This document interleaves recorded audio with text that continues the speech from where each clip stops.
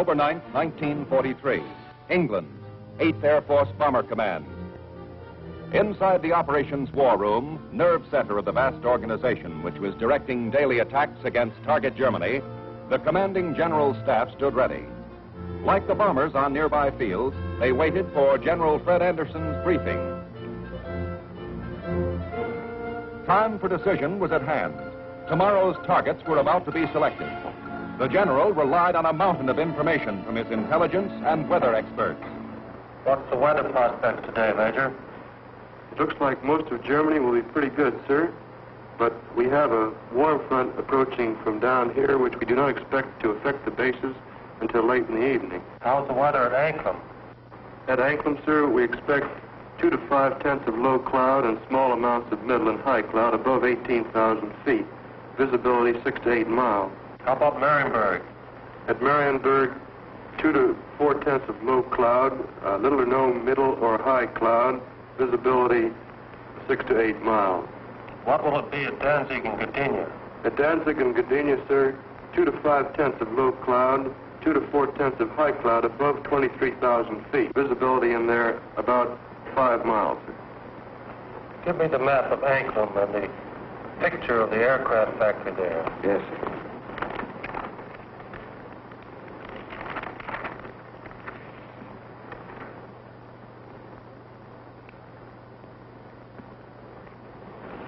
Marienburg, the Focke-Wulf factory. Yes, sir.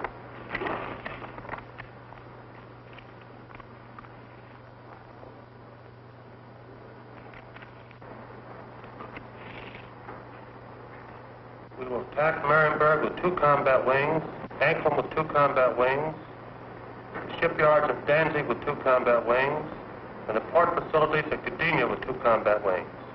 That will require a maximum effort. Maximum effort. This field order was flashed to 150,000 men and 600 aircraft. The mighty 8th Air Force was alerted.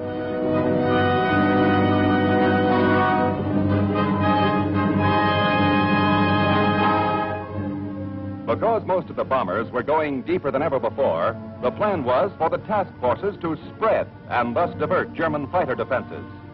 Each route, though aimed at a vital target in the enemy's industrial heart, was carefully plotted to minimize enemy flak and fighter interference. General Bob Williams' 1st Division tackled their part in the mission. Control point here at zero hour. Another control point here for the northern unit, zero plus 40 minutes. Uh, the other From, from that from that timing, where will that put our northern force at the time that our southern force hits the IP? The northern force should be about the east coast of Denmark at that time, sir. It looks like we're going to catch all the fighters on the southern force, aren't we? Looks very much that way, sir. I think we'd better bend that uh, route around so it's headed toward Berlin. If we can pin those uh, German fighters down in Berlin until we can get started home, they'll never catch us. Meanwhile, General Hodges' 2nd Division got ready. Danzig, eh? That's fine. How many ships will we have tomorrow? Well, sir, if you recall, General, on our last mission we had heavy battle damage, and now all those aircraft are repaired yet. Call up the wing commanders and have them put pressure on the groups to get their maintenance crews to work on these ships tonight and get every possible airplane on the line in the morning. The planning continued at General Russ Wilson's 3rd Division. Looks pretty good, sir. We're going to be right over a lake there for a good checkpoint at the turn. We're going in against the sun. The sun will be at our back, sir. Defenses at the target. Uh, Major Frost, uh, what about the flight defenses?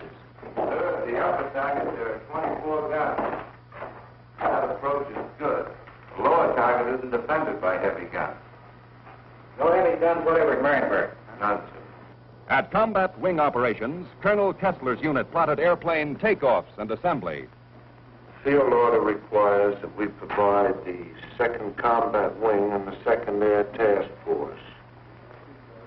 89th Group will lead, 81st Group will be high, and the 63rd Group will be low. Uh, that means that Colonel Whitman will lead the combat wing on this mission? That'll be fine. Okay, boys. Planning was turned into action. Pilots came for the word in the briefing rooms. For some, it was their first mission. Most of us were veterans. Everyone was checked in, no strangers allowed. What went on here could mean life or death in the air later. In a few minutes, we'd learn the nature, locale, and route of today's mission. Who was carrying the ball and what protective tactics we'd use. Once everyone settled down, the briefing started.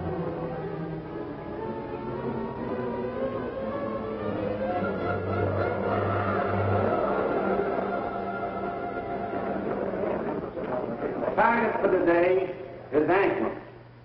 Specifically, you are to destroy the Arado factory. This group is meeting a formation to Marienburg today. The 80th will be high group and the 764th will be low group.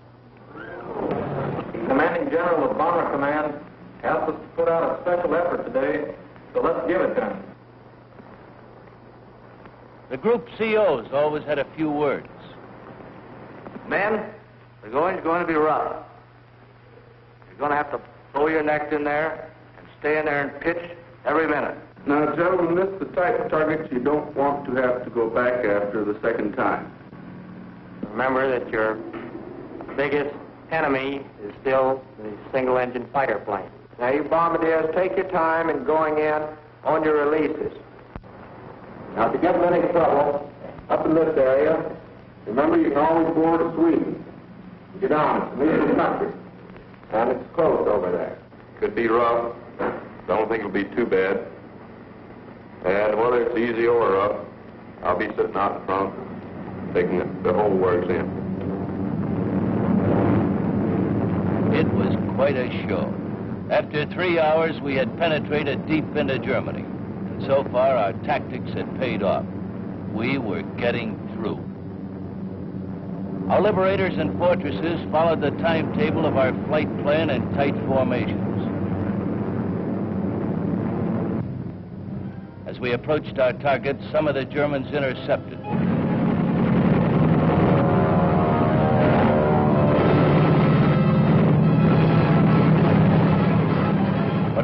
Fighters and enemy flak didn't stop us from getting to our objectives. Anklam, Gdynia, Danzig, Marienburg.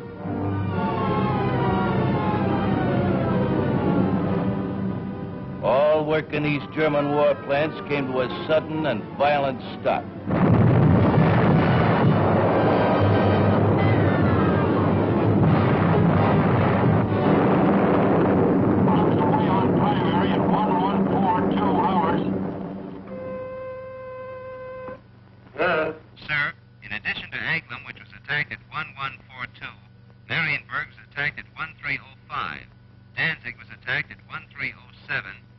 On the target, the group leader instantly called the Bomber Command. This command, in turn, promptly informed Ira Eaker, the commanding general of the 8th Air Force. Baker, I have the additional information. I reported to you that Anklam was attacked. All primaries were attacked. We received strike messages on all primaries. Danzig at 1307, Marienburg at 1305, and Gdynia at 1311. Yes, sir. I'll advise you as soon as they land. This was a signal for the 8th Fighter Command to put into action their part of the battle plan.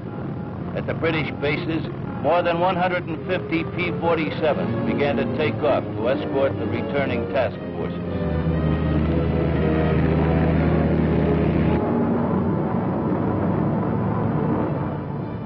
The Thunderbolts joined up with the bombers north of Holland. Immediately, enemy fighter activity ceased. From now on, it was a milk run.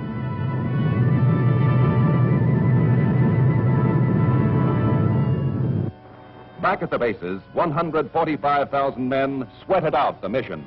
All over the field, at dispersal areas, the control tower, the Red Cross, everyone wondered how many would return.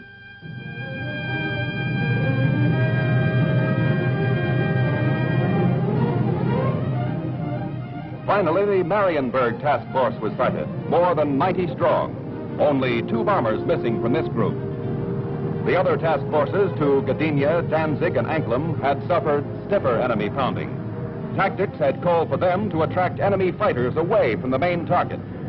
It was a calculated risk, but compared to Schweinfurt, losses were cut in half.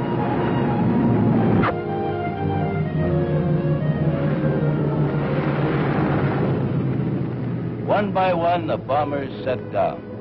At long last, the flyers had returned home. Happy that they got back, our gunners celebrated their victories.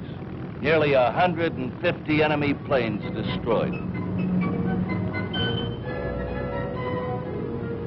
Although tension eased for the ground crews, the job of the flyers wasn't done.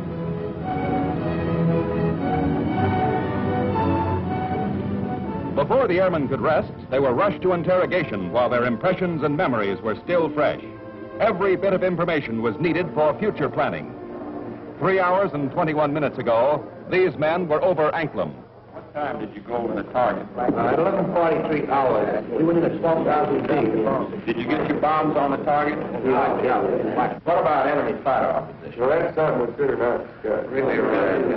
Well, let's get some of the details. Where did it begin, Paul? Well, they first jumped at the 10.30 there just off the Danish coast. And how long did the attack continue? They stayed with us to the target and until 1327. Then at 1345, we had another group attack that stayed until 1405. We had a couple more attacks, and the last one was at 1526, just off the Danish coast coming out. What type of enemy aircraft did you encounter? Well, from what I could see from the tail, they threw the book at us. FW-19s, ME-109s, 110s, 210s, Dorniers, even Ju-87s and 88s. I knocked down two. They were making attacks about 5 o'clock level. Yeah, I saw them. One of them blew up in the air, and the other one went down in flames. Were any other guns firing at these planes? No, sir. These were my babies. Interrogation over, the cold facts were collected. Strike photos were processed. They revealed the primary target, the Marienburg Focke-Wulf aircraft plant, almost completely destroyed. Only yesterday it had been turning out half of Germany's FW-190 fighters. In fact, the concentration of bomb bursts was so great that General Hap Arnold called it the finest example of precision bombing on record up to this time. Success was the result of scientific planning by an Air Force which knew its business. For two more years, the lessons of these maximum effort, long distance missions were to be applied on an even greater scale over Germany and then Japan, with the combined bomber and escort fighter strength of the growing United States Air Force.